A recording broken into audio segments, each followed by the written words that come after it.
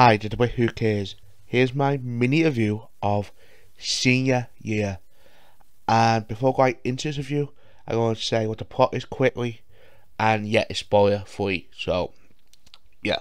So, the plot is about the teenager is in a senior year in 1999. Then he done um, a cheerleading stunt and he went wrong. She would produce in a coma for 20 years and she wake up now she is 37 and facing the world of modern day world. And basically the, the other thing too that she wants to go back and we and try to get the prom queen crown. So that's basically the plot.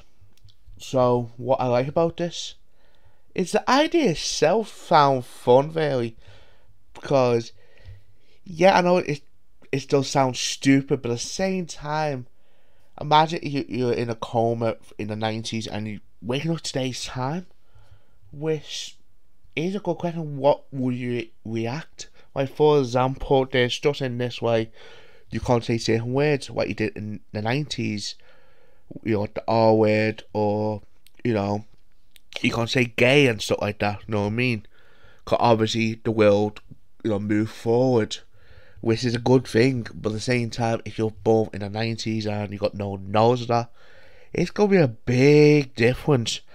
And stuff like social media and you know, modern day technology, it is going to be a big mind fucking head. It's like, what the fuck's going on? And how you cope, which is a good idea as a film in a way. And another thing I like, there's even though very few, which I will go into, is also a downfall.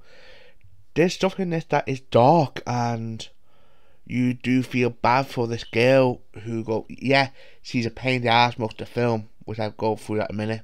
On you know what my bad thoughts on this film. You do feel sorry for it.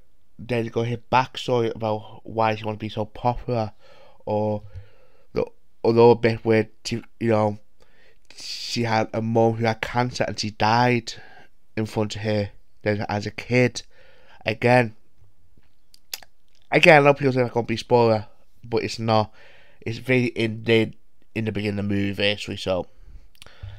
And like I said, it got impactful scenes and it is sad in a way and is well done those scenes, but the problem is we're going into now what I don't like about this, which is it tried too hard to be a comedy. Yeah, I know it's a comedy, but I think this type of story it's telling, it will work better as a drama in a way. I know you might sound a very, why is it on my positive about this?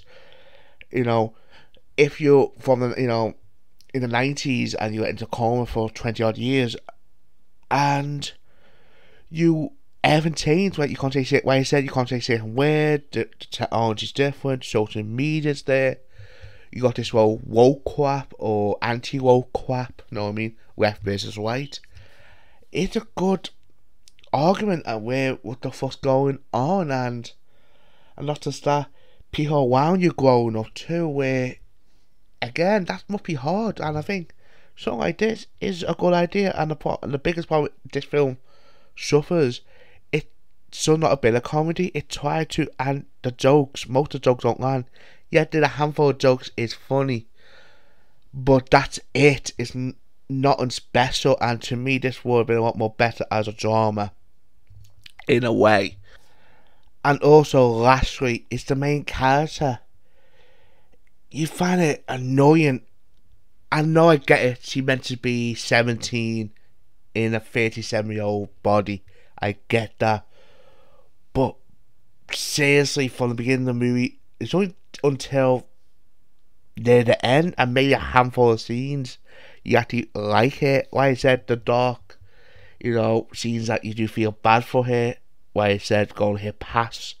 Yeah, you do feel for it, but the problem is most of the time she is quite an annoying character too.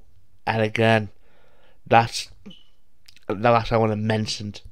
So let's get to my final thoughts. So my final thoughts it's a interesting idea, but it end up being eh, know what I mean? And also, as a comedy, it's a mixed bag really. There's much better comedy, or even as a teen comedy, it's still a failure as a mixed bag. As to me, there's a lot more better ones out there at the moment. So, if I go rank this, I give 5 out of 10. It's not bad, bad, but it's not amazing either. So, leave your comments below what you thought of this film. Do you like this film? Or, again, I don't mind you do, because at the end of the day, everyone got different tastes. And I like to hear them.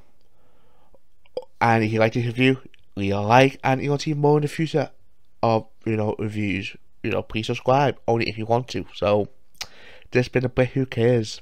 See you on the next one.